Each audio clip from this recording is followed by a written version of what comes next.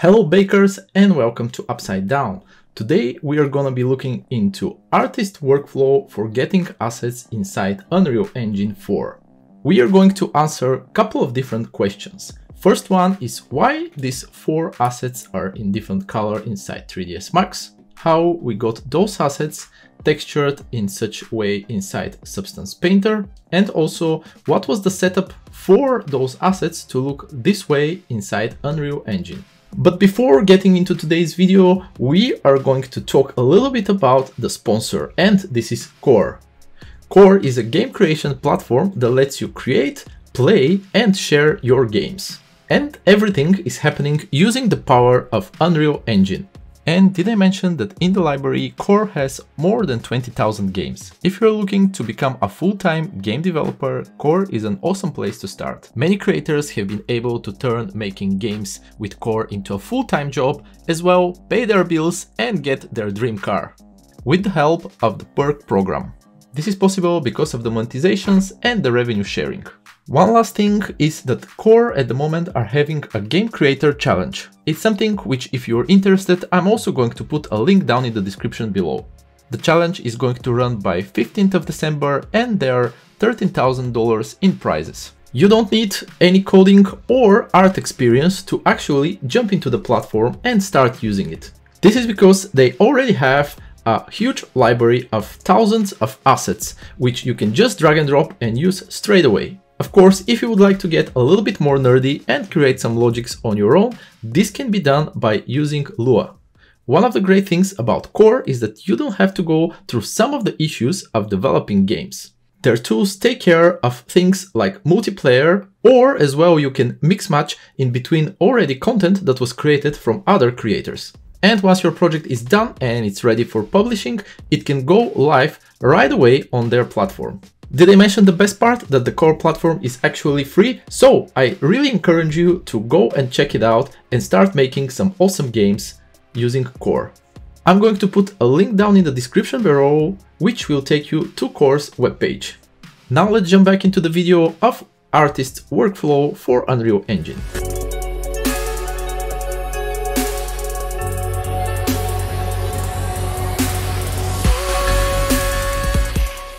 So the first part that we talked was about the assets and we are inside 3ds Max and why those assets are in such colors. The reason why I put them into those uh, four colors, it's uh, to understand and see a little bit easier uh, that we have different materials applied to them. And why we want to apply different materials to them is actually something that is going to help us in terms of setup after that inside Substance Painter. If you have assets that uh, have uh, different materials applied, when they go inside Substance Painter, they will be on a different tabs. So each of those assets is going to be in a unique texture set on its own. So uh, we are not going to have any high polys for uh, these assets.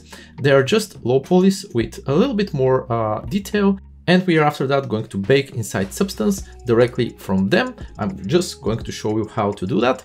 So to get them inside Substance, what we need to do is either select all of them or just go File, Export, and either export or export selected. If we just uh, selected all of them, this is in case you have some other stuff in the scene. And once we have that thing done, we are going to import everything inside Substance and start working on the texturing. Now that we are inside Substance Painter, this is my working file for uh, those assets, you can see first here on the top that we have the four different materials. Each of those materials correspond to one of those assets. So if I click the eye on the side, we are going to just hide it or unhide it. And if I click any of those, you will see that here the layers change a little bit. This is because each of those is now a unique combination of different textures and as well uh, masks and layers that we created specifically for this material and for this asset.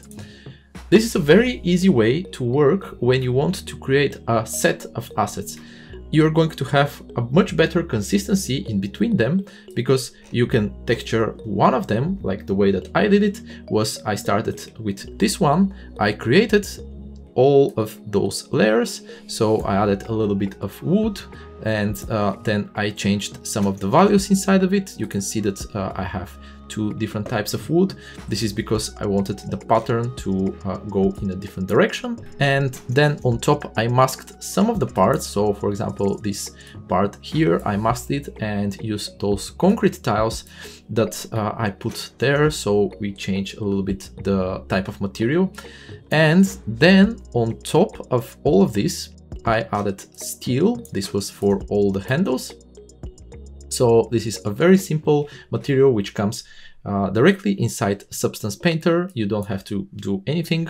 And I just changed and tweaked a little bit some of the values inside of it so that it fits uh, a little bit better in the scene. And last thing that I did were three different layers for all my dirt. I usually like to mix and create a couple of different layers for uh, adding dirt. And uh, initially I start with, uh, I'll just hide those two. So as a start, I usually put some base and then here from the tools, you can see that uh, we have smart masks. I like to apply one of those masks as a base. Then on top of it, I usually put a paint layer and this allows me to go over and for example if I would like to paint a little bit in some of the area uh, a little bit more dirt I can do so or if I would like I can move the slider towards the dark part of uh, this grayscale and uh, remove a little bit of this dirt. So I strongly recommend you when you are texturing assets to uh, put paint layer and go on top of it and just adjust a little bit uh, what was pre-done because uh, it's really easy, especially for artists that uh, already been in the industry and been working for uh, a little bit longer to spot some of the automated uh, things that were done while texturing. And also your assets start looking a little bit more generic if you have uh, everything uh, applied on default. So usually what I do, I apply one of those automated features and I remove a little bit some of the parts and also add here and there. Uh, I duplicate after that this layer and you can see that, for example, here, this one is a little bit darker and it will uh, is a little bit more greenish. So here we have a brighter one and then one which is a little bit uh, even brighter than the previous one. And also I play with the roughness values. This uh, not only will give me enough of variation from the dirt, but also we have like color, we have roughness variation, then we have uh, some of the, those different type of masks, and of course the paints on top. So all of this makes uh, a quite a random mixture of uh, elements and this way uh, the people that are seeing your assets won't be able to see any kind of pattern or anything like this. So uh, once this was done, uh, what you can do is just grab all of those and group everything inside one folder you can, uh, I'll just drag them inside. So uh, you can just close the folder, name it the way that you want. So in my uh, case, I named this and created a smart material called this AH Kitchen Kit. So if you want to create such smart material for your scene, you can just right click and create smart material. This will make uh, something like that or whatever settings you have with all the tweaks and everything that you did inside. Then we move to the other assets. So imagine that those three were not textured. If we go on the second one,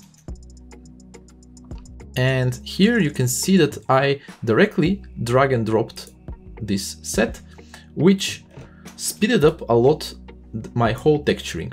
So uh, all the elements that we already tweaked and did uh, over here were transferred to this asset and I just created on top few different uh, materials because here for example I wanted to have this uh, marble top and not these concrete tiles so I removed them and instead of those uh, I add the marble and as well I move the layers for dirt on the very top so that uh, it affects those new parts as well. One thing that uh, I didn't mention was for the baking. So before you start texturing everything, what you need to do is go to texture set settings, then uh, find this small button bake mesh maps. And here uh, you just select uh, output size. I'm using 4K for uh, all the assets and there is a small checker box over here which says use low poly mesh as high poly mesh. As I told you, we are not going to do high polys for those assets, and what we're using is actually the low poly. So uh, it's important to have this bake. Uh, once you have everything selected, just click the bake settings on the bottom, uh, wait a little bit and everything will be done. But it's important to have this because if you don't bake it, some of the automated masks and some of the automated materials, how they're being calculated inside Substance, are not going to work properly. And for example, if you would like to have some uh, dirt on your edges, it's not going to happen. You need to have first the bake in order for Substance to understand where exactly are the edges of the mesh and everything else. So you need to do this. It's a very important step. Once we are done with uh, our texturing for all the assets, everything that we need to do is just go to File, Export, Textures, and since we are exporting everything for Unreal, here from the output templates, Substance already have Unreal Engine 4 packed. I usually use this one and I'm exporting usually in Targa, this is TGA format. You can do uh, PNG as well, but uh, I just prefer uh, going for uh, Targa. And the way that uh, things are being packed is we have diffuse, we have a normal map, and then we have an occlusion, ambient occlusion, roughness and metallic map combined. Now let's go inside Unreal 4 and see what are the setups that we have there. Once we have our textures imported, it will look something like this. And this is our diffuse, normal map, and the occlusion, roughness, and metallic. For the occlusion, roughness, and metallic, there is one thing which is very important to do before using it inside your material. When you import this texture, it goes here in the compression settings on default. So what we want to do is move it to mask. This ensures that the values that the software is reading are going to be correct. If you don't do this, uh, your assets will look a little bit like wet, so you're not going to get correct values for your roughness maps. If you move it to mask, everything will be resolved. We just need to save it, close it, and now this texture is ready to be used in our material. Talking about materials, let's have a look about the material setup, which I have here for uh, those assets.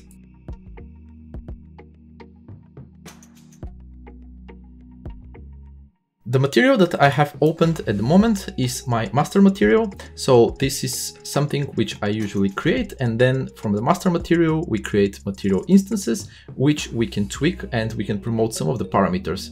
So uh, we have one slot for our diffuse, for uh, our occlusion, roughness and metallic and for the normal map. You can see that I have small uh, parameters here on the side, which I connected so that we can tweak some of the settings. So for example, if I would like to tweak our roughness, I have uh, a roughness power and then we are adding this from the green channel because the green channel is our roughness to the final roughness material attribute. And as well, I have similar thing for uh, ambient occlusion and for the normal map, uh, we use a flatten normal. So the flatten normal, if the parameter here is on zero, this means that uh, the normal map will look exactly the same way that it looks inside Substance. And if we want to flatten it, we can do one. This means that we will kill all the strength of the normal map. So this is something which is nice to have just so that you can tweak some of those parameters. And we are using parameters. This is important part because you can just drag and drop, for example, a texture here, but if you right click and then go to parameters and use those parameters here, for example, texture sample parameter 2D or vector parameter or uh, those uh, scalar parameters that we have here, uh, then we will be able to promote them. And when we have a material instance, we can tweak those without changing the master material. This is something which is uh, important and it's something which creates a very nice workflow because you will be able to do a lot of more materials faster and it's more optimized this way. What I have opened at the moment is how the material instance looks like. So you can see that we don't have the whole material graph at the moment available, but we have those checker boxes and here we can switch our textures and as well, we have our parameters that we promoted. So we have our roughness, normal flatten, and as well the ambient occlusion. Once we have everything tweaked and set it up the way that we want, we can easily just right click on those, duplicate, come to the next one, change our diffuse, normal and occlusion, roughness and metallic map. And have the whole thing ready to be used for our assets. Sometimes I like getting a little bit more fancy with the master materials that I made and also I would like to have a little bit more uh, possibilities to tweak different parameters. In that case, I usually create something similar to this. So uh, instead of just the few parameters that uh, I promoted in the previous material that we had, uh, here we have a little bit more settings that we can do. So for example, you can see that uh, uh, the ambient occlusion, roughness and metallic, I have a few parameters for uh, my occlusion as well for the metallic. And also for the roughness, we have a minimum maximum value and as well we have a multiply. Also, for uh, the base color or for our diffuse, there are a few extra settings, like for example, the brightness, the contrast, and as well we can desaturate it. This is very useful because uh, sometimes you might want to have, uh, let's say, uh, wood, which is going to be more red. So you can have a material instance for that wood uh, with these settings, and then I can desaturate it and have something which is a little bit more gray. So uh, this way we can easily create different type of uh, variations of those assets without the need of us exporting new textures also, we have a tint. Uh, this is something that uh, if we don't just want to desaturate it, but for example, we want to make it purple or some other color, we can easily do by adding a little bit of a tint. Also, for the normal map, you can see that here, instead of uh, flatten, I'm using a normal map intensity, which has the opposite idea of how the normal map flatten works. So instead of zero being the normal map working as it is by default. It's something which uh, one is the default setting. And this material, I'm going to show you how the master material looks like. As you can see, there's uh, a little bit more things uh, assembled over here, but overall, it's nothing to be afraid and it's nothing that is too complicated. So again, I'm using just simple inputs, simple parameters for our textures as well uh, one for our color and couple of different parameters which we can multiply, desaturate, power or add into each other and get a final result. So everything is about the opportunities that you would like to create for your material instance and where exactly you would like to tweak everything that uh, you're doing in your scene. So uh, in my case, I usually like to have a little bit more control. So this type of materials are something which uh, is uh, easily created and as well I prefer it uh, just for the end result. If you would like me to do a video on such topic, going a little bit more in depth about some of the basic material setups which I'm using, subscribe to the channel and leave a comment down below what kind of a material would be interesting to see. One last thing that I wanted to say is about the scene that you are seeing on the background. This is something which soon is going to be available and I'll do a few more videos of how exactly it was created, what assets were used and how everything was assembled and as well we are going to have a look inside how the lights were built. The scene is still under development, so this is not the final result and there will be more things to come. Before the end of the video, let me quickly remind you about Core and to check it from the description down below. Subscribe to the channel, thank you for watching this video and see you next time.